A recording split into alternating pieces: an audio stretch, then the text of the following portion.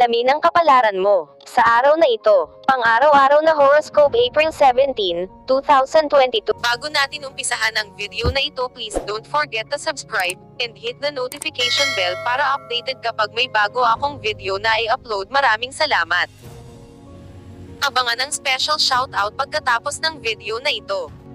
Pang-araw-araw na horoscope ay tumutulong sa iyo upang masuri ang likas na pangyayari na nangyayari bukas, ngayon mismo. Ang isa sa mga pangunahing bentahe ay malaman mo ang mabuti at masamang resulta na darating sa iyong buhay bukas sa pamamagitan ng pagsusuri ng paggalaw ng mga konstelasyong pangplaneta. Ito, malalaman mo ang tungkol sa mga bagay na maiiwasan o isaalang-alang, napatunayan man o hindi ang iyong bukas na maging mabunga at progresibo at kung ano ang mga hadlang at hamon na dapat mong harapin sa tulong ng pang-araw-araw na horoscope.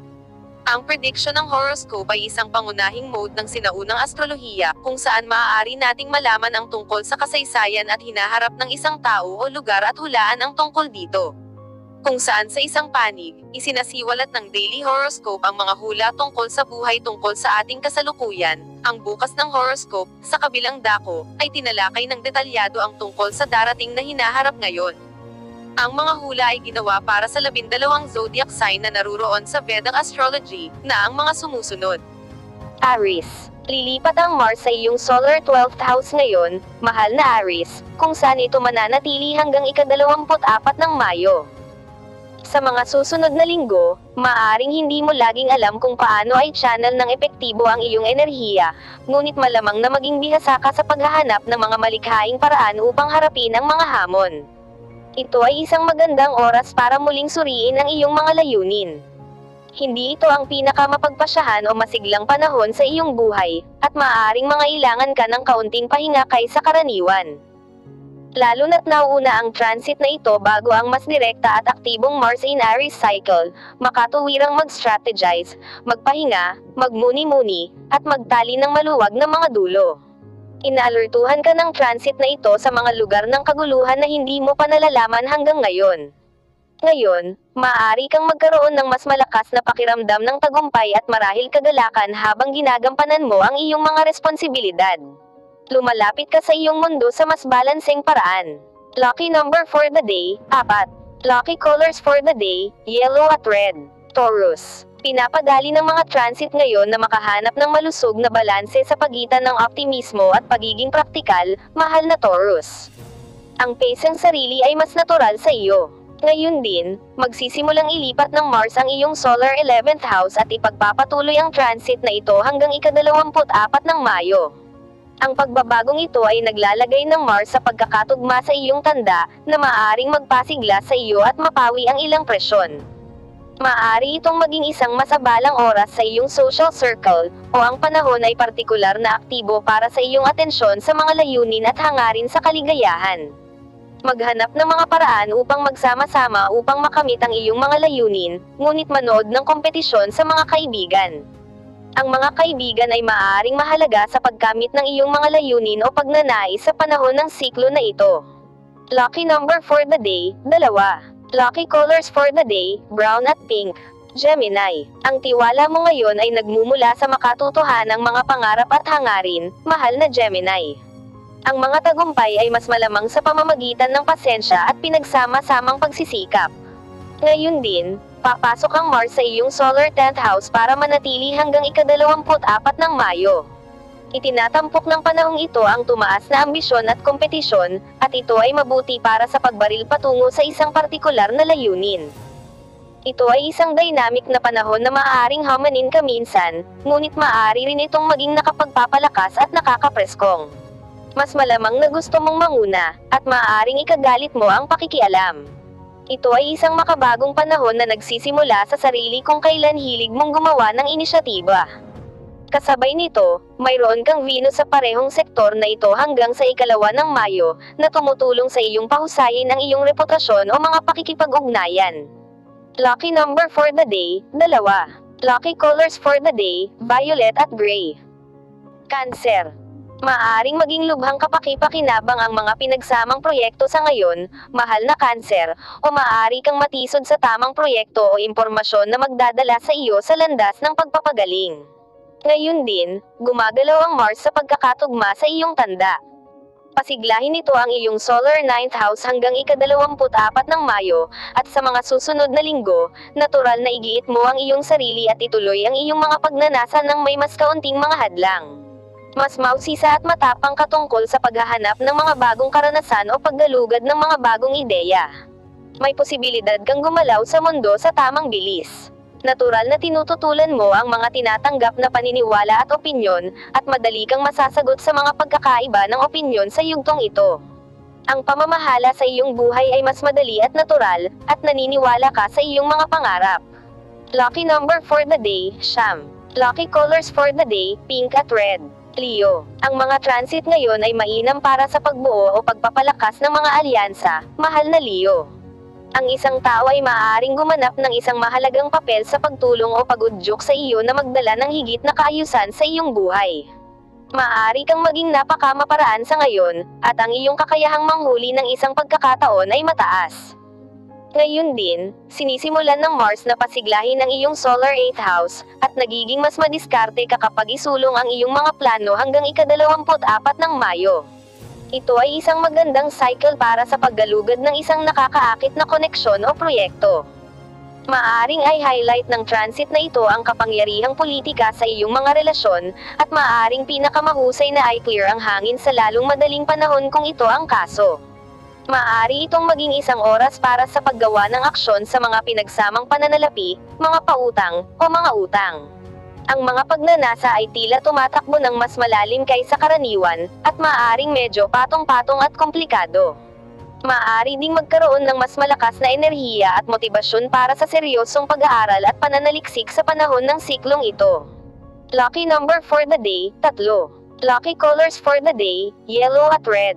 Virgo. Ang mga transit ngayon ay nagpapabuti sa pakikipag-usap at pagkonekta, mahal na Virgo.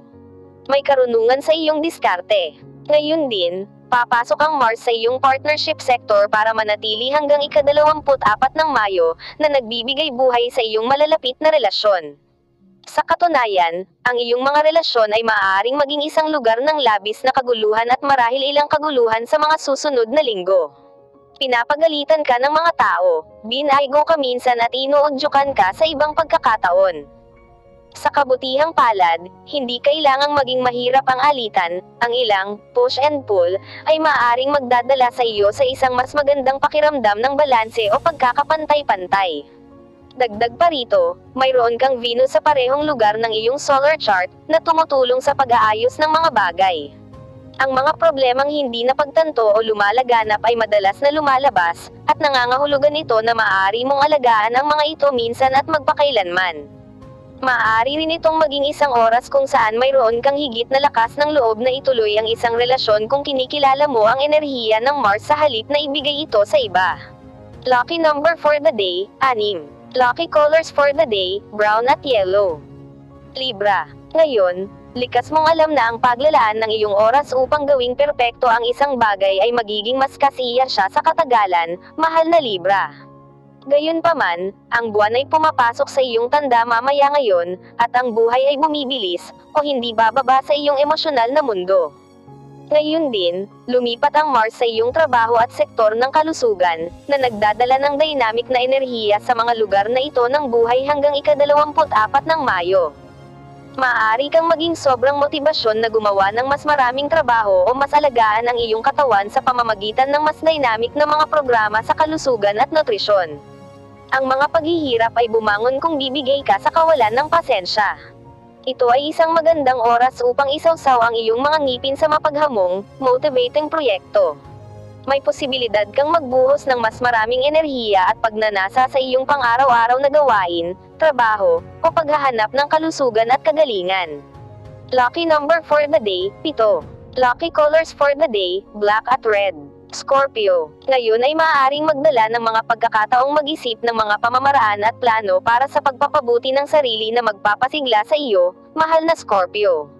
Ngayon din, lumipat ang Mars sa isang bagong bahay sa iyong solar chart. Ang planetang ito na nakatuon sa pagkilos ay nagdudulot ng dynamic na enerhiya sa iyong sektor ng romansa at kasiyahan hanggang ika-24 ng Mayo, na tinitiyak na hindi magiging mapurol ang buhay. Sa yugtong ito, malamang na idirekta mo ang iyong lakas at inisyatiba sa aktibong pagpupursige sa isang kapaki-pakinabang na buhay pag-ibig, panlipunang libangan o libangan, mga aktibidad kasama ang mga bata, o kasiyahan sa pangkalahatan. Nakakaramdam ka ng kaaya-aya na mapagkompetensya, mas masigla, at mapilit. Si Venus ay nasa sektor din na ito, at ngayon kasama ang Mars, mas gusto mong magsaya at ipahayag ang iyong sarili. Ang hilig sa iyong romantikong buhay ay maaaring tumaas ngunit maaaring nakakagambala o nakapagpapasigla, at kadalasan ay pinaghalong pareho. Sa pangkalahatan, gayon paman, mas madaling ipahayag ang iyong sarili at ang iyong mga hangarin. Lucky number for the day, 5. Lucky colors for the day, brown at orange. Sagittarius. Maaari kang makaramdam ng kasiyahan tungkol sa pangako sa isang partikular na bagay at pag-unlad ngayon, mahal na Sagittarius. Ito ay isang magandang oras upang mga tuwiran ang mga bagay-bagay. Ngayon din, papasok ang Mars sa iyong tahanan at sektor ng pamilya para manatili hanggang ikadalawamput-apat ng Mayo.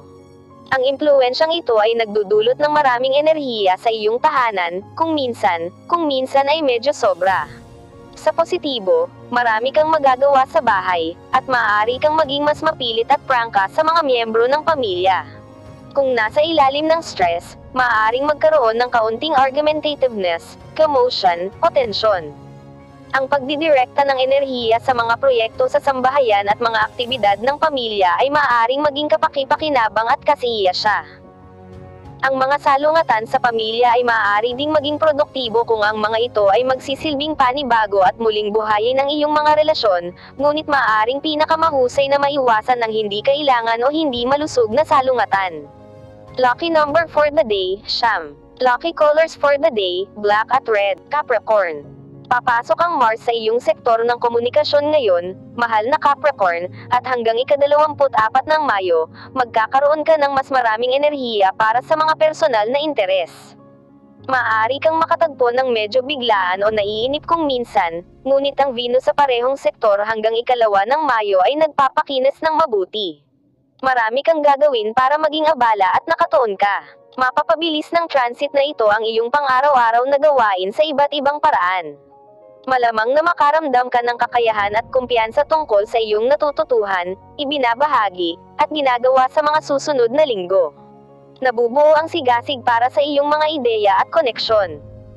Bagamat ang kawalan ng pasensya, pagiging argumentative, at pagiging mapagkompetensya ay posibleng mga negatibo ng posisyong ito, mas alam mo ang mga potensyal na ito, mas mahusay mong makokontrol ang mga ito.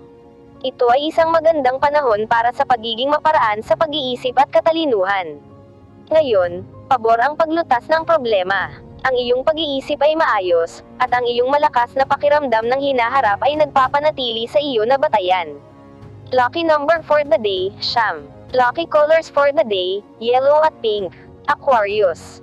Ang fiery Mars ay nasa iyong tanda simula noong ika-6 ng Marso, mahal na Aquarius, at nagdulot ito ng higit na lakas at pagmamaneho sa iyong buhay, ngunit pati na rin ang ilang pagkainip at pressure. Ang Mars ay umalis sa iyong tanda ngayon, at ang buhay ay tumira ng kaunti. Sa Mars sa iyong sektor ng mga mapagkukunan mula ngayon hanggang ikadalawamput-apat ng Mayo, maaaring gusto mong magdala ng kasaganaan sa iyong buhay. Halimbawa, maaari kang makaramdam ng higit na motibasyon na kumita ng pera, ngunit kaya mo rin ang mga pabigla-bigla na pagbili sa panahong ito. Ang pinakamahusay na paggamit ng transit na ito ay ang tumuon sa pagbuo ng iyong mga mapagkukunan. Ang pagkilos para gawing mas secure ang iyong buhay ay maaaring maging malakas ngayon. Ang ngayon ay nagdadala ng maaasahang enerhiya para sa paggawa ng desisyon, bagamat sa pagbabago ng mga palatandaan ng Mars, maaaring pinakamahusay na maghintay hanggang bukas o sa susunod na sumunod. Lucky number for the day, dalawa.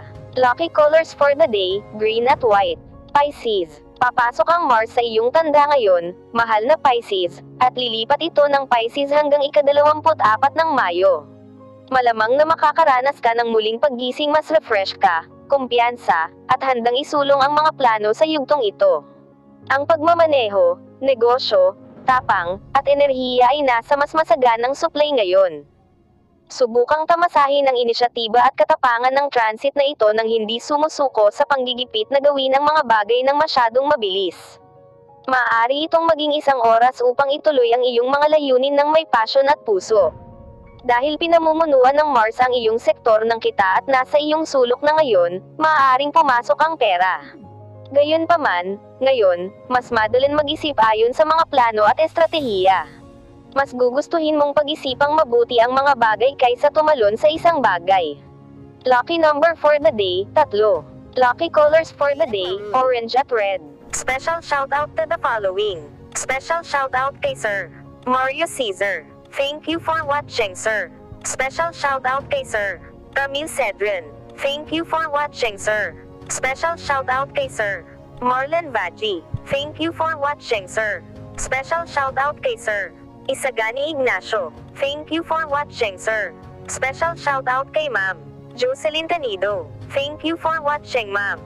Special shout out kay Ma'am Joan Cruz. Thank you for watching, ma'am. Special shout out kay Ma'am Neri Sapila. Thank you for watching, ma'am. Special shout out kay Ma'am Julia Sujiyama. Thank you for watching, ma'am. Kung gusto mong magpa-shoutout sa next video comment na. Maraming salamat sa panonood mga kapatid. Sanay nagustuhan nyo ang video na ito, please don't forget to subscribe and hit the notification bell para updated ka pag may bago akong video na i-upload. See you on my